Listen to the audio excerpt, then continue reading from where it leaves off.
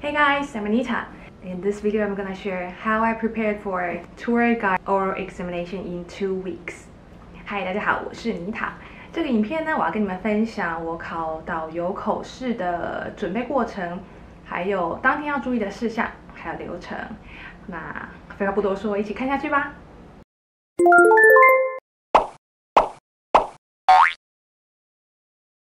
考试会分为三个部分，然后大概是十到十二分钟。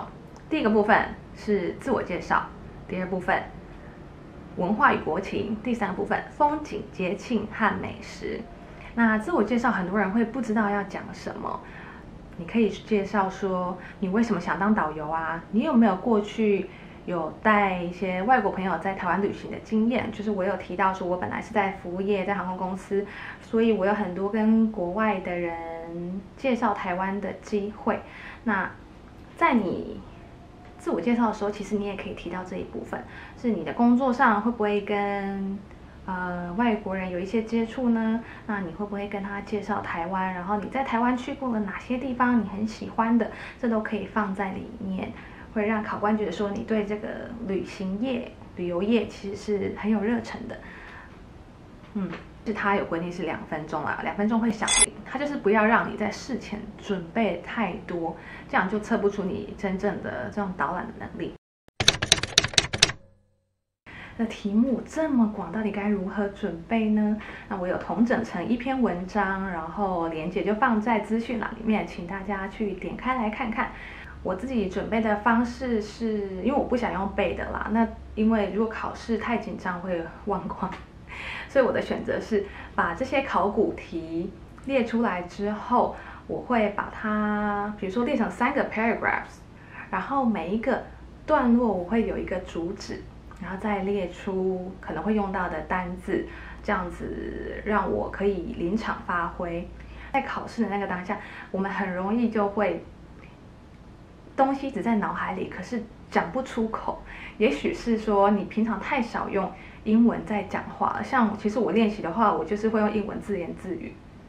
你可以对着镜子讲英文啊，把你这个题目，如果说给你四分钟，你要怎么样介绍？因为它总共是十到十二分钟嘛，所以这样分配起来大概是四分钟，四分钟。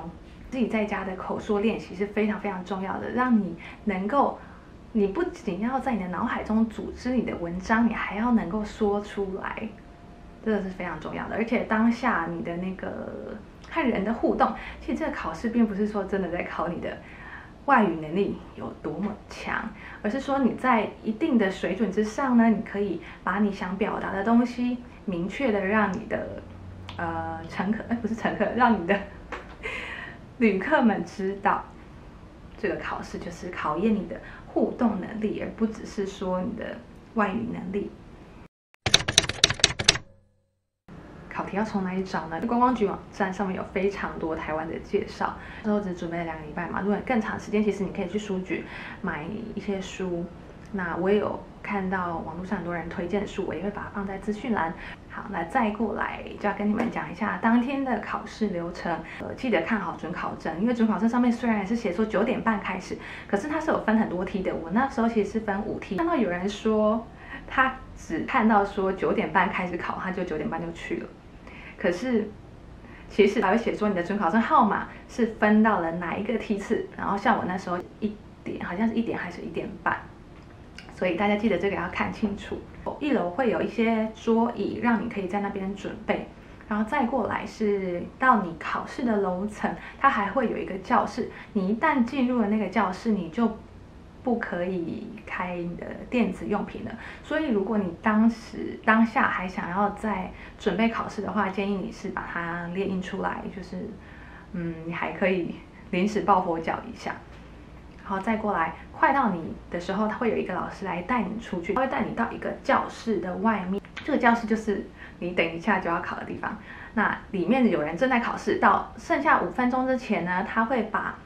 一个袋子拿到你面前，然后把球全部拿出来，就是会有十颗球，让你看一看是不是每一个号码都在里面，然后你就要开始抽喽。你抽完之后，他就告诉你的题目。这时候你会有五分钟的准备时间，后五分钟后你就要上战场了。好，进去教室，呃，坐下来之后，你就要面对镜头，讲你的姓名、准考证号码。那考试是坐着的，所以我是觉得坐着比较不紧张，坐着会比站着不紧张。然后有两个考官，他会根据这两部分来跟我一些问答。那我觉得礼貌是非常重要的。那我们就是把这一个面试当做是一个真正在面对你的旅客的时候，然后很亲切的态度是非常非常重要的。这个考试其实不难，因为我后来看过的数据，呃，有去考口试的人呢之中的百分之九十五都通过了，所以大家真的不用给自己太大的压力。然后，考试中的这种自信，还有和人的互动，其实是影响你会不会通过这个考试最大的因素吧。呃，我是觉得至少要尽量避免。很多赘词，例如嗯，well，就是指 听多我会让人家觉得很烦躁啊，所以这些东西是我们可以尽量避免的。就是就算你真的当下有一点犹疑的话，你其实可以放慢你讲话的速度，这样子你脑中所想的东西，你就还可以赶快组织一下再说出来。我还看到有人穿凉鞋，然后。牛仔裤之类的，我自己是觉得，在面试的时候，我习惯打扮的正式一点，像是衬衫，然后就是挺一点的衣服，会让人家感觉你比较有精神。因为其实面试这种东西，你不要说你看的就是我的能力，这个世界上真的不是只看你的能力，你的外在也是非常非常重要的。如果你能够把自己打扮的很干净、清爽，让人家觉得说，呃，你是尊重这一份考，尊重这个考试的话，我相信。你给人家的第一印象也会很不错。那我我也只说那怎么办？希望你们也能够，就是因此而找到一点方向，然后顺利的节省时间考过这个考试。如果你们有任何的问题要问我的话，都欢迎在下方留言，我会尽量回答。希望。看这个影片，你们都会对导游口试更有信心。然后记得一定要点去看那个我的链接，我都已经辛苦写了考古题。祝你们都顺利考过，尼塔旅行区，我们下次见，拜拜。